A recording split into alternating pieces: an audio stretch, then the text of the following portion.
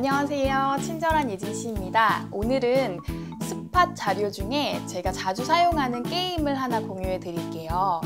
이 게임은 어, 질문이라는 걸 꼭 해야 돼요.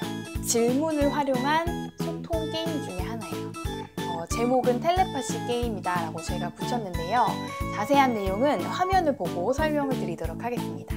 우리가 질문하면 어, 상대방에 대한 관심의 시작이잖아요. 이 사이토 다카시가 쓴 질문의 힘이라는 책에도 보면 상대방에 대한 관심의 시작이다라고 질문에 대한 소개가 나와 있습니다.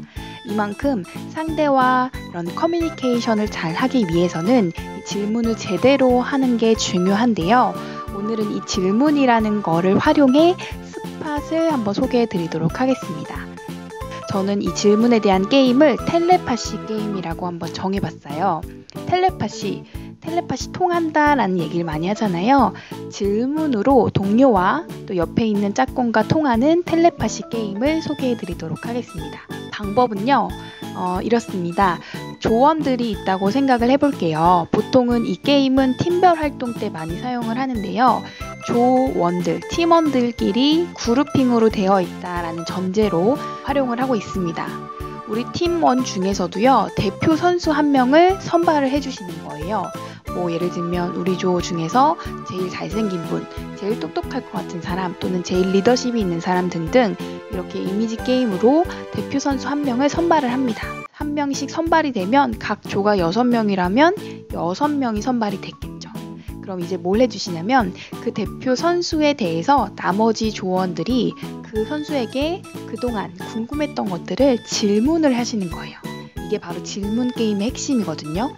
질문 어떤 거 할 수 있을까요? 평소에 알던 동료라면 그동안 뭐 주말에 뭐 했는지 또는 어, 고향이 어딘지 가족 관계는 어떻게 되는지 또는 나이가 어떻게 되시는지 뭐 등등 어, 자녀는 몇 살인지 이런 사소한 것들부터 그 사람에 대한 궁금한 것들 발 사이즈 키 뭐가 있을까요? 이상형 좋아하는 노래 등등 이런 것들을 다 물어보시는 시간을 대략 3분 정도 드립니다. 그러면 질문만 하고 끝나는 것이 아니고요. 그 질문에 대해서 대표 선수는 정확하게 답변을 해주실 거고 그 답변을 제대로 기억을 해주시는 역할을 팀원들이 해주시는 겁니다. 여기까지가 한 3분 정도를 소요가 되고요.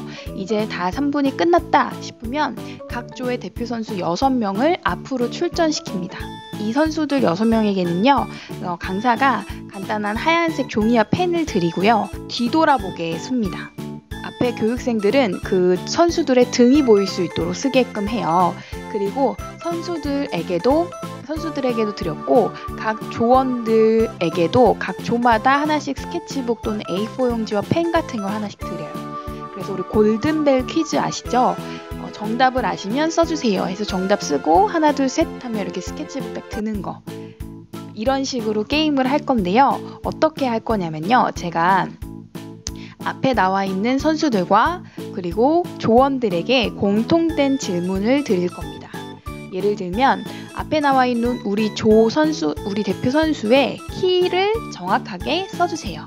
이런 질문들 있죠. 그동안의 질문을 통해서 알 수 있는 것들부터 심오한 질문부터 가벼운 질문을 통해서 알 수 있는 모든 것들에 대해서 강사가 미리 한 다섯 개에서 여섯 개 정도 질문을 정해 놓습니다. 그래서 이제 게임을 시작을 하는 거예요. 텔레파시 게임을 본격적으로 시작을 하는 건데 첫 번째 퀴즈를 드립니다. 우리 대표 선수의 키가 몇일까요? 제가 시간을 드리겠습니다. 하고 시간을 드린 다음에 들어주세요 하면 대표 선수도 본인의 종이에다가 100, 뭐 178이라고 써주시고 본인의 키를 써주시고요. 또 조원들도 아까 질문, 질문을 했기 때문에 그거에 대한 답변을 제대로 기억하고 있다면 정확하게 쓰시겠죠. 그래서 하나, 둘, 셋 하면 동시에 들고 어, 텔레파시 정답이 통했는지 안 통했는지를 이 텔레파시라고 표현을 하면서 측정을 합니다. 이렇게 통한 조에게는 포인트를 하나씩 드리고요. 가장 포인트가 많이 쌓인 조에게 최종 우승 점수를 드리는 이 텔레파시 게임입니다. 이 텔레파시 게임은요 너무 재밌어요. 이거는 이제 강사가 앞에서 어떻게 진행을 하느냐에 따라서 분위기가 좀 좌지우지가 되는데요. 그때 강사의 전략은 질문을 미리 정하시는 겁니다.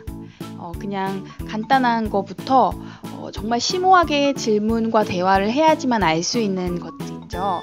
예를 들면 이상형이라던가 또는 배우자의 이름이라던가 좋아하는 뭐 연예인 발 사이즈 이런 거 있잖아요. 쉽게 물어보지 않는 이런 것들을 미리 좀 정해 두셨다가 마지막 난이도 좀 더 어려운 난이도의 문제로 내시는 겁니다. 대화를 한 조 같은 경우는 잘 맞추지만 또 어려워하시는 조들은 또 이렇게 또 점수를 받지 못하는 그런 게임이 있겠죠. 이 게임은 나중에 메시지를 주시면 좋은데 이렇게 커뮤니케이션을 할 때도 상대방에 대한 관심에서 시작이 된다. 상대에게 그동안 평소에 우리가 이런 대화를 많이 못하는데 이런 게임을 통해서 앞으로도 서로의 관심을 많이 갖기를 바란다.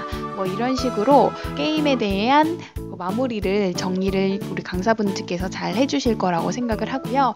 이렇게 재미와 또 유익함을 더해서 텔레파시 게임을 활용하시면 아주 유익한 시간이 될 것 같습니다.